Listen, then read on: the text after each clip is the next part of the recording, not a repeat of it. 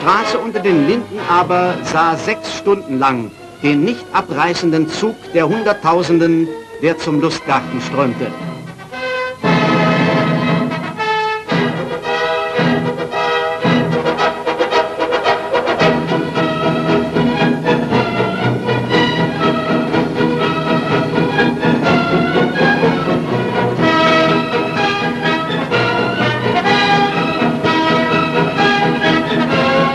Fortschrittliche Berlin bewies erneut, dass es sich auf einem guten Wege befindet, auf dem Weg zu einem besseren Leben durch eigene Kraft.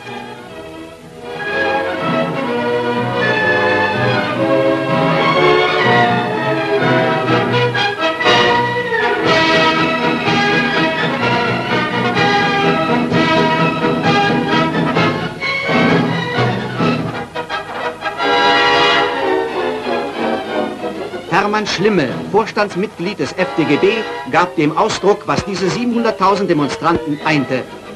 Denn im Kampf um den Sozialismus muss sich die internationale Solidarität der Arbeiter aller Länder bewähren.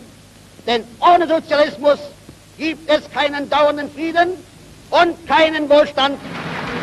Die Werktätigen Berlins haben bewiesen, dass sie ein Teil der fortschrittlichen Kräfte sind, die zur gleichen Stunde in allen Hauptstädten der Welt für die gleichen Ziele auf die Straße gingen. Am Abend fanden sich überall in den Betrieben die Menschen. Das werktätige Berlin ist in Bewegung.